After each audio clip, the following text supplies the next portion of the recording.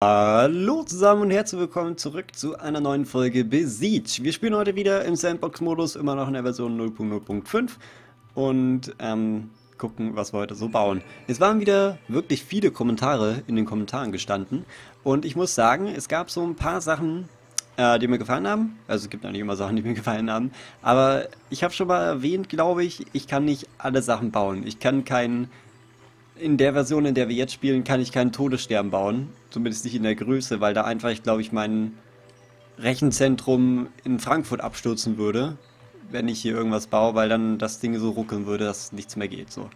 Aber ähm, eine Sache, die ich oft gelesen habe, war, ich soll mal ein Amphibienfahrzeug oder ein Luftschiff oder ein Luftkissenboot oder sowas in der Art bauen. Und ich habe jetzt ein bisschen lange rum überlegt, wie man das Ganze machen könnte und ihr seht wahrscheinlich, was ich meine. Es ist nicht ganz so einfach, denn zuallererst mal gibt es in dem Spiel noch kein Wasser. Ähm, so viel ich weiß, zumindest in der Version gibt es noch kein Wasser, ähm, in dem man fahren kann. Ich kann mir vorstellen, dass es irgendwann mal Boote geben wird. Das wäre auf jeden Fall sehr cool. Aber in der Version, in der wir jetzt spielen, gibt es noch kein Wasser und auch dementsprechend keine Boote. Aber wir könnten versuchen, so eine Art Luftkissenboot zu bauen. Wie, wie genau wir das schaffen werden, weiß ich nicht. Weil ja, man kann es eben nicht genau so machen, wie man will. Äh, wir müssen entweder diese Flying Blocks nehmen und die hier unten ranpacken so und dann irgendwie das Ganze so Millimeter über, äh, über dem Grund halten oder wir nehmen halt wirklich ähm, die Ballons hier und packen die hier ran. Aber ihr seht schon, was dann passiert wahrscheinlich. Okay. Ähm, aber nichtsdestotrotz, wir versuchen einfach mal unser Glück und fangen einfach mal mit einem ganz normalen Konstrukt an. Die meisten sind ja dann, also die meisten Luftkissenboote sind ja eher so geformt. Na, vielleicht bauen wir das sogar ein bisschen größer. Ich, ich baue es mal ein bisschen größer, okay? Nur ein Stückchen, so vielleicht. So, ne, warte, das ist einer zu viel, dann gehen wir bis hierhin. Jetzt habe ich wieder einen Doppelblock gemacht. Zack, zack, zack und zack, okay. Dann würde ich sagen, machen wir so die Größe. Nach hinten kommt dann natürlich wieder so ein, ähm, ein Ventilator, wenn man das so sagen kann, so wie das eben bei einem, bei einem richtigen Luftkissenboot auch ist. Ich bin mir nur nicht sicher, ob ein Spinning Block oder ja, ob wir einen Spinning Block benutzen oder ob wir einfach nur unser ein Rad oder so nehmen. Eigentlich wäre ein Rad besser, ne? Das können wir wenigstens kontrollieren. Dann stellen wir das hier mal auf noch auf Max Speed. Und daran kommt dann... Obwohl, na, ein Spinning Block kann man nicht an- und ausschalten, ne? So wie ich weiß. Nee, kann man nicht, leider. Äh, aber ich will ja nicht immer fahren, deswegen bräuchten wir eigentlich ein Rad. Also nehmen wir auch ein Rad. So, beschlossene Sache. Ähm, heißt, wir machen wir jetzt so ein... Wir müssen fast so einen Block, aber das sieht ja dann so doof aus. Ah. So, in die Richtung müsste es passen. Das heißt, wir stellen die einfach alle hier hin und rotieren die einmal. So. Kommen wir auf den Boden damit auf? Ja, das ist ja egal. Ich meine, wir, wir machen später eh unsere Balance hier hin oder was auch immer. Wir machen jetzt schon mal ein paar hin und gucken, wie das Ganze aussieht. Wir heben noch nicht ab. Es ist noch zu schwer. Okay, aber das passiert dann früher oder später. Ähm, das wollen wir aber nicht. Das, das sollte nicht passieren. Wir machen trotzdem mal. Kann man da irgendwie so eine Art Aufstiegskraft? Ja, kann man sogar einstellen. Ähm, wir machen aber erstmal hier noch welche hin und dann vielleicht hier und hier, hier und hier und gucken mal, wie es jetzt aussieht. Sie drehen sich, das darf nicht sein. Die, die, dürfen nicht, die dürfen sich nicht bewegen. Also, die dürfen sich schon bewegen, aber ihr wisst wahrscheinlich, was ich meine, oder? Sie sollten halt an der Position bleiben, wie sie sind. Und wie, wie wir das lösen, das ist die, das ist die Frage aller Fragen. Vielleicht ein bisschen weiter nach innen bauen, die ganzen Dinger, und dann äh, ja, ein Gestell außenrum machen, so, so, so, gesagt. so, warte, wir machen das mal so. Ups, die letzten beiden waren ja komplett falsch. Den machen wir noch weg, den löschen wir wieder. Und dann bringen wir die hier rein. Gluck, gluck, gluck, gluck, gluck, gluck, gluck. So, das Ding ist jetzt schwer wie nochmal was, aber ist scheißegal. So, wir bringen das ein bisschen nach oben und jetzt machen wir hier unsere Ballons unten dran. So in etwa. Mal gucken, ob das als Luftkissenboot durchgeht. Es schwebt zumindest schon mal fast. Okay, das ist cool. Ähm, die Blöcke hier sind ja... Oh, die gehen hier gar nicht ran? Really? Shit. Das ist doof. Das ist wirklich sehr doof. Aber vielleicht funktioniert das. Vielleicht halten die Dinge die Balance auch schon im Platz. Machen sie auch. Das ist cool. Okay, dann haben wir schon mal eine Verkleidung für unser Luftkissenboot gefunden. Was sagt es denn? So, hier müssen wir nur aufpassen. Ich bin nicht... Obwohl, der Rotor dürfte eigentlich keine Probleme mitbekommen. Sonst ist er behindert, wenn er das bekommt. Um, hä? Don't ask me why. So, okay. Das sieht doch schon mal ganz okay aus. Sollen wir mal testen? Okay, er geht zwar gerade in die falsche Richtung. Ähm, ich stelle die Steuerung mal ganz kurz um. Down und up. Mal den Rotation Speed mal hoch. Drücken wir jetzt mal auf Play. Okay. Äh, Invincible. äh, es geht noch nicht ganz das Luftkissenboot durch. Wir stellen mal die Buoyancy ein bisschen hoch. Bin nicht ganz sicher, was das bedeutet, aber ich denke einfach mal, das ist so die, die Tragkraft, oder wie nennt man das bei Personen? Die Auftriebskraft. Das sind solche Wörter im Englischen, die ich nicht kenne. So, mal gucken, wie es jetzt aussieht. Na, immer noch nicht wirklich gut. Ich meine, er müsste ja so ganz, ganz leicht schweben. Also wirklich nur so minimal, dass er nicht abhebt, sondern dass er dass er nur schwebt. Entweder wir machen das wirklich mit, mit Ballons, aber dann müssen wir das halt wirklich auf den Millimeter perfekt aufs letzte Gramm hinaus äh, aufstüfteln. Oder wir nehmen diese Flying Blocks. Das wird halt mehr in einem Luftkissenboot entsprechend dann, ne? Ihr seht da, was ich meine? Die, die verhaken sich dann so ein bisschen. Und dann kommt es zu solchen Sachen. Ähm, wir stellen sie mal... Ich stelle sie mal jetzt einfach ganz so, okay? Und dann gucken wir mal, was dann passiert. Ihr hört immer meine Tastatur. Kluck, kluck, kluck, kluck, kluck, kluck. Wir setzen das mal auf den Boden, so. Er hebt immer noch nicht richtig ab, ne? Es ist einfach zu schwer, das, das Gebilde, glaube ich. Äh, wir nehmen mal hier ab und zu so ein paar Streben raus. Gucken mal, wo das dann hinführt. So in etwa. Immer noch zum gleichen Ergebnis. Ähm. Aber ich habe keine Ahnung, was kann ich noch rausnehmen?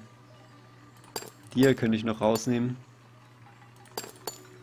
Und dann einfach die einzelnen Blöcke hier durch doppelt ersetzen. Aber das müssten dann solche hier sein. So, mal gucken, wie es jetzt aussieht. Immer noch gleich, immer noch zu schwer, das Ding, ne? Hm. Was könnten wir dafür einbauen? Wo ist denn überhaupt unser Center of Mass? Ziemlich in der Mitte, ne? Ja, so halb, halb. hm.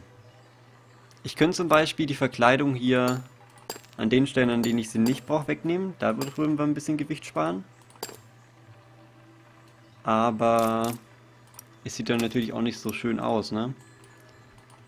Aber mal gucken, vielleicht bringt das ja was. Wer weiß, wer weiß. So, nehmen wir einfach jeden zweiten hier drin raus. Wir brauchen ja wirklich nur die, damit die Balance nicht zur Seite wegkippen. Die, die, die, die, die. So, und ich habe wieder einen Ballon kaputt gemacht, ja. Ja, ja, das macht man irgendwie gerne. So. Wie sieht's aus? Du hebst immer noch nicht ab, ne? Ich glaube, er wird das auch nicht schaffen. Weil die Balance von unten irgendwie zu wenig Auftrieb haben. Vielleicht muss ich das ja auch ganz nach unten stellen. Wisst ihr, was ich meine? So. Vielleicht ist, äh, ist, ist das die Lösung. Okay, es sieht nicht ganz so aus. Jetzt haben sie gar keinen Auftrieb mehr. Oh Mann. Hm. Was könnte man noch wegnehmen? Nach oben hin brauchen wir ein paar Verstrebungen auch. Auch wenn es nur zwei Stück sind oder so, aber... Ich kann ja nicht alle... Warte, wir könnten so einen Ultraleichtbau versuchen. Gucken, wo das dann hinführt. Ähm, indem wir hier einfach die Stelzen reinbauen. Mal gucken, was daraus dann wird. So, er hebt immer noch nicht ab, ne? Keinen Millimeter bewegt er sich nach oben. Vielleicht ja wirklich einfach alles aus diesen Stellen. Obwohl, dann ist immer noch dieser Block da, ne? Eieiei. Die Frage ist auch, ob diese, ob diese Holzdinger überhaupt leichter sind als, ähm, als alle anderen. Pass auf, wie wäre es denn? Wir machen einfach mal alles rückgängig hier, was wir gebaut haben gerade. Und bauen die normalen Dinger hier wieder hin. So. Ähm, ich probiere es einfach mal aus, wie es denn mit Flying Blocks aussieht. Vielleicht sind ja Flying Blocks die Lösung. So. Da können wir dann auch ein paar mehr hier ranbauen. Guck mal, die können wir da innen reinpacken zum Beispiel. Ich hoffe überhaupt, ich hoffe zumindest, dass das funktioniert. Ähm, so, ja, mehr können wir nicht mehr zwischendrin machen. Gehen. Ups, was ist denn jetzt passiert? Ist er nicht mal auf dem... Doch, er ist auf dem Windsuppe. Hä? Geht's dir gut? Hä? Ach, hier sind schon wieder so doppelte Blöcke, ne? Irgendwie? Ach, I don't know. Warte. Machen wir die hier mal nochmal neu, ganz kurz. Machen wir mal so. Das sollte, glaube ich, reichen. So, jetzt funktioniert es auf jeden Fall. Äh, auch diese Flying Blocks haben noch nicht... Oder gehen die in die falsche Richtung? Das könnte natürlich auch sein, ne? Dass wir die hier rotieren müssen.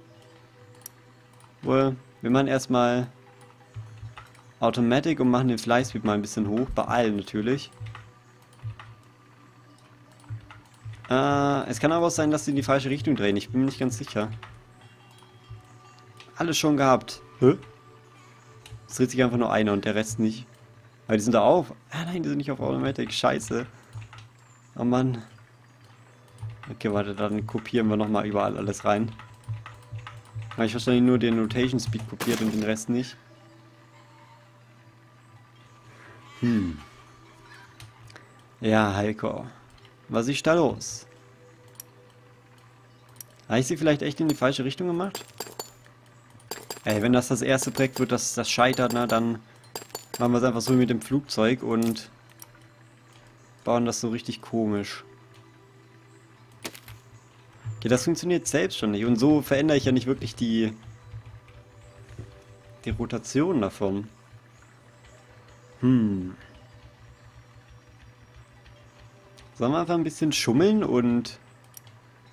Ah ne, Balance kann ich ja auch nicht anmachen. Ah doch, vielleicht schon. Warte, dann schummeln wir jetzt einfach ein bisschen. Oh, warte mal, ich kriege hier gerade viel mehr Balance rein als davor, glaube ich, habe ich das Gefühl, ne? Vielleicht... Ah. Buggy-Spiel. Warte. Vielleicht funktioniert es ja damit. Sieht noch nicht ganz so aus, aber hey, wir, wir haben noch Hoffnung. Ähm, indem wir die wir auch 1,5 stellen. Es wäre echt cool, wenn man die, wenn man die Zahl manuell eintippen könnte. Also, dass nicht bis auf 1,5 beschränkt ist, sondern dass man wirklich so 100 eingeben könnte. Das Ding bewegt sich keinen Millimeter. Das kannst du mir doch nicht erzählen, oder? Würden die Balance jetzt oben sein und nicht unten dran, dann würden die das Ding hochheben, 0, nichts. Pass mal auf, ich mache jetzt mal vier Balance hier hin an die Ecken, ja? Hier, seht ihr? Wie nichts. Nur diese vier Balance an der Ecke. Die ziehen das ganze Ding nach oben. Richtig komisch. Wir müssen die hier eh wegmachen. Weil die sonst rausflutschen. Hm.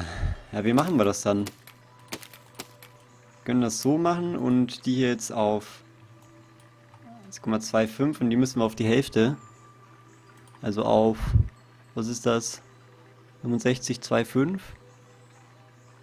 Nee. 60,25. Oder? Mal 63.